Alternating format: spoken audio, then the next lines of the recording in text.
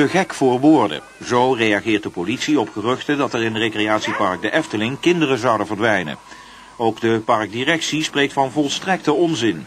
Vanuit alle hoeken van Brabant krijgt de Efteling telefoontjes over verdwijningen van kinderen. Er is een versie die uh, zegt dat uh, het kind ontvoerd is, dat de haartjes afgeknipt zijn, gekleurd zijn in een andere kleur. En vervolgens is het kind weer teruggevonden door de ouders. Er is een andere versie die stelt dat het kind zelfs beroofd zou zijn van enige organen, zoals nieren.